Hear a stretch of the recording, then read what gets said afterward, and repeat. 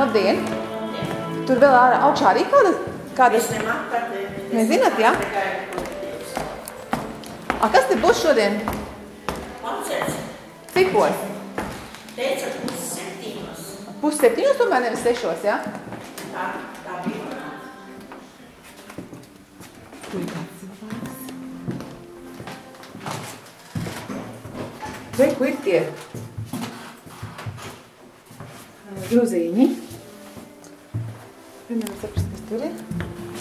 Labdien! Labdien!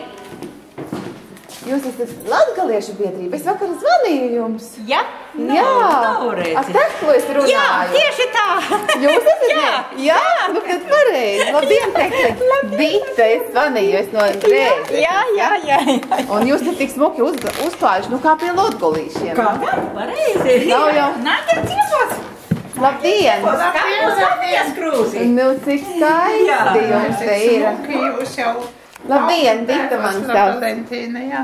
Jā. Mūs aicināja, es jau aizmirsu. Rītā mums ir horavodi.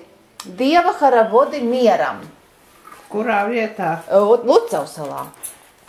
Tas ir taisni tur, kur eh, televīzijas tornis. Jā, Jā, tur ir, eh, tur, kur ir. eh, Zekusala. Nē, tur salā. nu tas ir tieši tai turnim blakus, jā, tur. Jā, no Lucavas salā, tieši kurā vietā Lucavas salā. Tur ir kazas sēklis.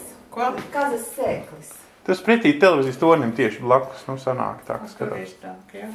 Un mēs tur tiekamies pa priekšu vienos eh, pie kāra auta tā lielā veikala. Jā. Un tad mēs dzie- dziedātam, ejam cauri visai Lusausalai, vācam cilvēkus kopā, un tad tur pēc tam ir viss tā. Bet tur jau viena daļa laikam dzīvo arī uz vietas. Jā, jā, jā, jā. Tā tas ir. Un kurā vietā tas koncerts būs tajā apakšē? Tur, kur viņa trenējās, jā? Jā, jā. Mēs vēl paskatīsimies un iepazīsimies ar māju, un tad mēs Jā, jā, piedrītas. Nu, jā, jā, jā, es jau teicu viņai, man sešos, jā. jā.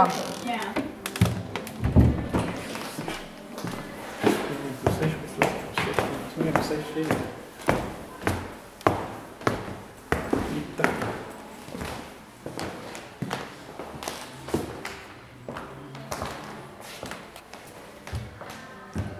Oliete.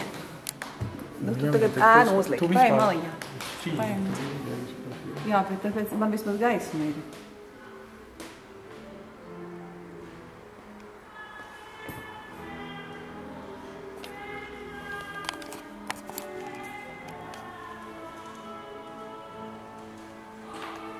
Nu jā, skaisti.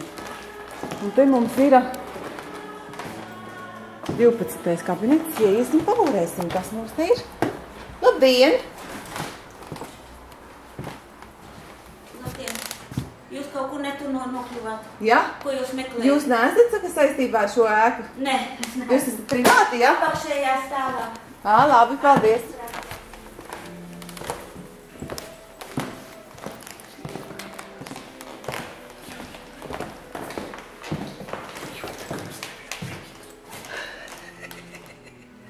Arī, kur mums ir poļu biedrība, ja?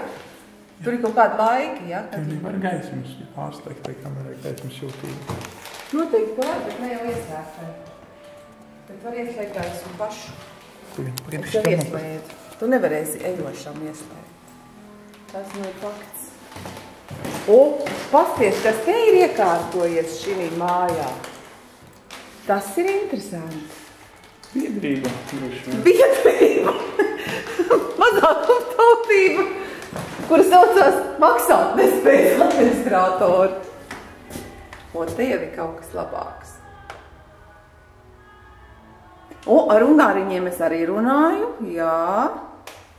Bet viņš teica, ka viņiem ir ļoti, viņi esot tikai visi 300 gabali pa visu Latviju. Un te ir priekšsēdētājs, ū! Lejā, lejā, ir teica, ka administrācija. Un te? Te nav. Sievieši ir no frontes. Силушли на фронт. Hm. Tā. Vislabāk man mūžams likās šis 16. kabinets. Baltija kultūras biedrība, tas ir jauki.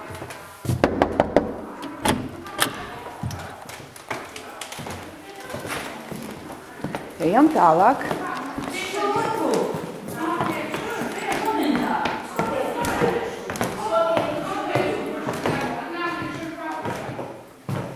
Šūšanas darbnīca. Un te arī ir čušs.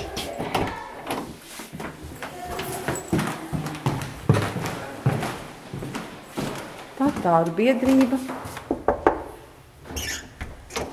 Nu, redz, esam safilmējuši visu. Nu, var sakot, skaidrība ir, ka 16. kabinets. Viņam vajadzētu atbrīvoties, manuprāt. Kā tev šķiet? Jā, latvieši mazāk un tā tie tur. Es tā domāju, ka tā mums vajadzētu noteikti rīkoties. Tur lībiešus tur nosaukties.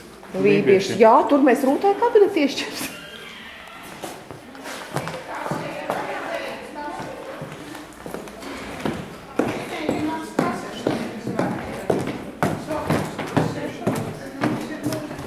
Tā visi? Jā, pie latgalīšiem tomēr ir visforšāk. Tas nu ir fakts. Nu, tur galīgi nav. Cik tur galīgi nebija ko darīt. pareizi, nu, ko. Mēs esam atpakaļ. jūs varat piedāvāt kafijas krūzīti. Nu, noteikti. Ja? Bet, nu, kafiju es nedzeru, bet, ja jums vēl kaut kāda ūden, Tēja. ūdens ir vai apelsīns. Tēju vai tēju vai kafiju. Jā.